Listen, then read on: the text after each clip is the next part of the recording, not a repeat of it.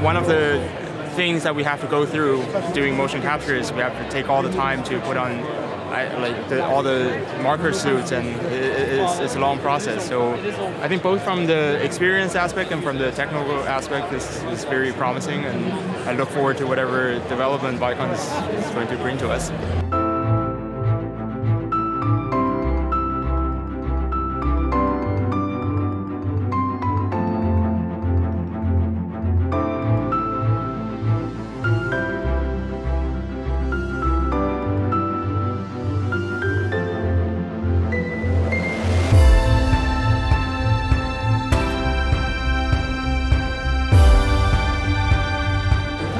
Experience was great. I was really impressed to see six people all in the um, stage all at the same time, especially using markerless.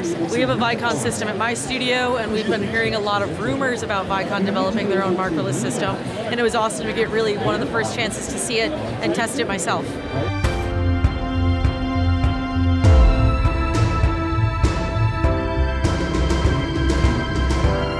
I didn't really know what to expect, and as soon as I got in there and I was able to see not only myself move, but look around and see everyone else in in the virtual slash real space, it just sort of it, made it feel like like the next evolution in VR and the sort of experiences that that we thought VR would be all those years ago.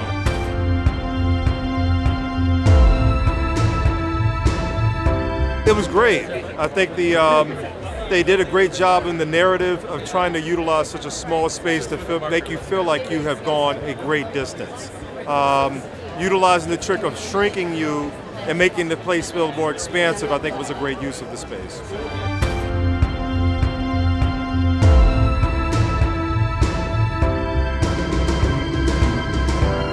It was a really cool experience. Like it, it, it feels like this is where like experiences are headed.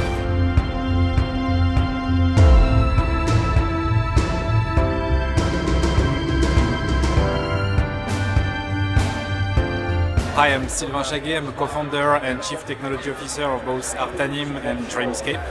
And we're here at SIGGRAPH presenting uh, the latest evolution of our VR platform with uh, the markerless technology that uh, we helped develop with like.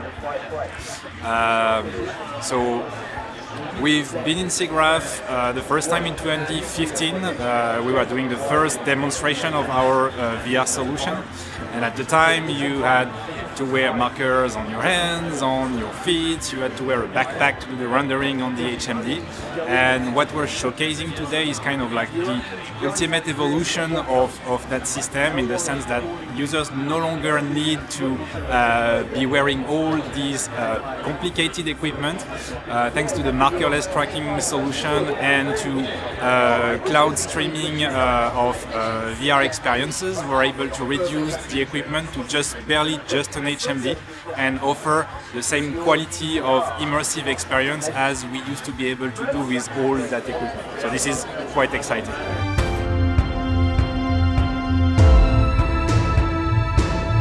I've been coming to SIGGRAPH on and off since 1996. Uh, I was here almost every single SIGGRAPH in 2000s, and this is the best thing I've ever seen at SIGGRAPH, hands down, ever. It's an incredible experience. I would say it was, you know, the the the experience of being able to see yourself as an avatar, walk around, not be tethered, um, and still have all of the like you could grab handles or bars, and there was interactivity. I'm really happy that this technology is out there.